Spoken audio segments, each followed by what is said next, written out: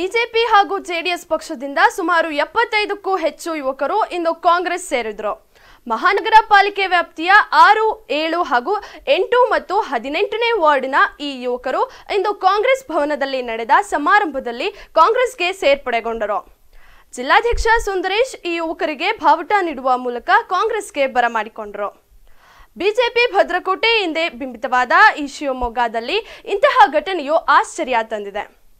ಯುವಕರನ್ನು ಪಕ್ಷಕ್ಕೆ ಸೇರಿಸಿಕೊಳ್ಳುವ ಮೂಲಕ ಕಾಂಗ್ರೆಸ್ ಇನ್ನಷ್ಟು ಕ್ರಿಯಾಶೀಲವಾಗಿರುವುದನ್ನು ತೋರಿಸಿದೆ.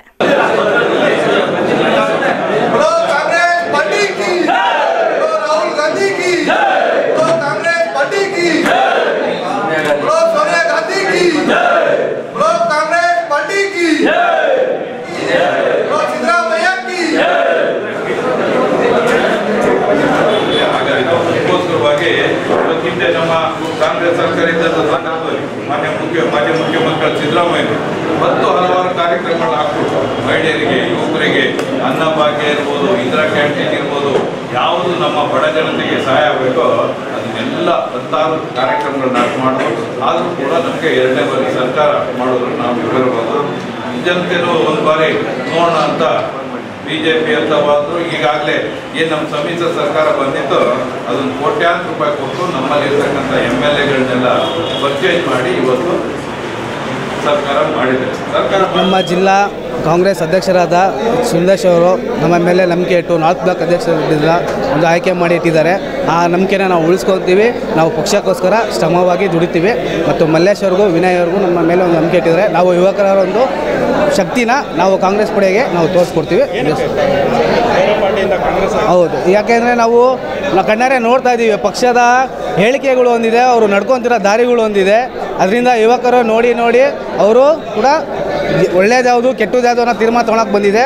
ಬಟ್ ಅವರು ಆಕಾಶದಲ್ಲಿರೋ ಚಂದ್ರನ ತೋರಿಸಿ ನಮ್ಮನ್ನು ದಾರಿ ತಪ್ಪಿಸ್ತಾ ಇದ್ದಾರೆ ಅದು ಇನ್ನು ಮುಂದೆ ನಡೆಯಲ್ಲ. ಯುವಕರೆಲ್ಲ ಎಚ್ಚೆತ್ಕೊಂಡಿದ್ದೀವಿ. ನಮಗೆ ಒಳ್ಳೇದ್ಯಾವುದು, ಕೆಟ್ಟದ್ಯಾವುದು ಅಂತ ನಮಗೆ ಗೈಡ್ ಮಾಡೋ ಜ್ಞಾನಶಕ್ತಿ ಇದೆ, ನಾವು ಒಳ್ಳೆ ದಾರಿಯಲ್ಲೇ ಹೋಗಬೇಕು ಅಂತೇಳಿ ನಾವು ಕಾಂಗ್ರೆಸ್ ಪಾರ್ಟಿ ಬಂದಿದ್ದೀವಿ. ಕಾಂಗ್ರೆಸ್ ಪಾರ್ಟಿ ಅವಾಗಿಂದ ಬಡವರ ಪ್ರಯುಕ್ತ ಬಂದಿದೆ, ಹಂಗಾಗಿ ಕಾಂಗ್ರೆಸ್ ಪಾರ್ಟಿಗೆ ನಾವು ಸಪೋರ್ಟ್ ಮಾಡ್ತೀವಿ. ನಾವು ಮೊನ್ನೆ ದಿನ ಈ ಶಿವಮೊಗ್ಗ ನಗರದಲ್ಲಿ ಪ್ರವಾಹದಿಂದ ಏನು ಮನೆಗಳು ಬಿದ್ದಿದ್ದು, ಒಂದು ನೂರಾರು ಜನ ಏನು ಸಂತ್ರಸ್ತರಿದ್ದರೋ ಸಾವಿರಾರು ಮನೆಗಳು ಬಿದ್ದಿದ್ದಕ್ಕೆ ಅದರ ವೀಕ್ಷಣೆಯನ್ನು ಮಾಡಬೇಕು.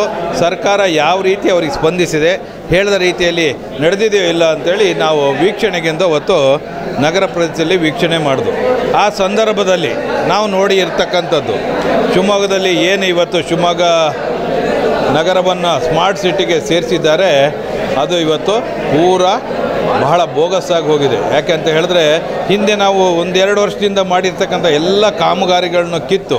ಈಗ ಬಾಕ್ಸ್ ಟ್ರೈನ್ ಇರ್ಬೋದು, ರೋಡ್ ಇರ್ಬೋದು ರಸ್ತೆಗಳಿರ್ಬೋದು ಅಥವಾ ಪಾರ್ಕ್ ವ್ಯವಸ್ಥೆ ಇರ್ಬೋದು, ಅದೆಲ್ಲವನ್ನು ಕಿತ್ತು ಸುಮಾರು ಸಾವಿರಾರು ಕೋಟಿ. ಇವತ್ತು ಜನಗಳ ತೆರಿಗೆ ದುಡ್ಡು ಇವತ್ತು ಹಾಳಾಗ್ತಾ ಇದೆ ಮತ್ತು ಸಿಟಿಯ ಅಂದನೂ ಇವತ್ತು ಕೆಟ್ಟೋಗ್ತಾ ಇದೆ. ಯಾಕೆಂತ ಹೇಳಿದ್ರೆ, ಈಗಾಗಲೇ ನಾವು ತುಂಗಾ ನದಿ ದಡದ ಮೇಲೆ ನೋಡ್ದು. ಕಳೆದ ಬಾರಿ ಅವ್ರನ್ನ ಲಾಕಿಂಗ್ ಟೈಲ್ಸ್ ಹಾಕಿ ವಾಕಿಂಗ್ ಪಾತ್ ಎಲ್ಲ ಮಾಡಿದರು. ಸುಮಾರು ಎಂಬತ್ತು ಕೋಟಿ ಖರ್ಚು ಮಾಡಿ. ಬಟ್ ಇವತ್ತು ಮತ್ತೆ ಅದನ್ನೆಲ್ಲ ಕಿತ್ತಾಕಿ ಬರೀ ಒಂದೇ ವರ್ಷದಲ್ಲಿ ಸುಮಾರು ನೂರ ಮೂವತ್ತು ಕೋಟಿ ವರ್ಕನ್ನು ಸ್ಮಾರ್ಟ್ ಸಿಟಿನ ತಗೊಳ್ತಿದ್ದಾರೆ ಇದು ಬಹಳ ಅಯೋ ಇದು ವೈಜ್ಞಾನಿಕವಲ್ಲದ ರೀತಿದ್ದು ಮತ್ತು ಎಲ್ಲ ಇಂಜಿನಿಯರ್ಗಳು ಕೂಡ ಸರಿಯಾದ ರೀತಿಯಲ್ಲಿ ಅದನ್ನು ಬಳಸ್ಕೊಳ್ಳೋದ್ರಲ್ಲಿ ವಿಫಲರಾಗಿದ್ದಾರೆ. ಮತ್ತು ಜಿಲ್ಲಾಧಿಕಾರಿಗಳು ಮತ್ತು ಆಯುಕ್ತರು ಇದನ್ನೆಲ್ಲ ಸ್ಥಳ ಪರಿಶೀಲನೆ ಮಾಡಿ ಬಂದಿರತಕ್ಕಂಥ ಹಣವನ್ನು ಸದುಪಯೋಗ ಪಡಿಸ್ಕೊಳ್ಬೇಕು ಅಂತ ಕಾಂಗ್ರೆಸ್